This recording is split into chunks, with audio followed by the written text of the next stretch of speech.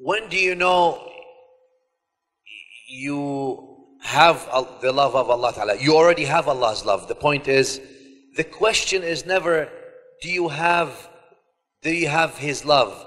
The question is never, are, is He close to you? The question is always, are you close to Him?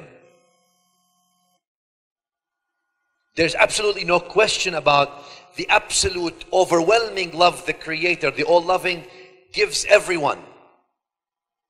In the sense of rahmah, to say the least. Everyone. It's your willingness to embrace it. And when do you know that? When you found Him. In your salah, in your prayer, in your mu'amalat. Have you found Him yet? Meaning, do you have a moment of your heart present with Allah subhanahu wa ta'ala? Knowing that He's nadiri, He's looking at me. Hadiri, He's present with me. Shahidi, He's witnessing me. He's observing me. I am in Allah's presence. And start building on that.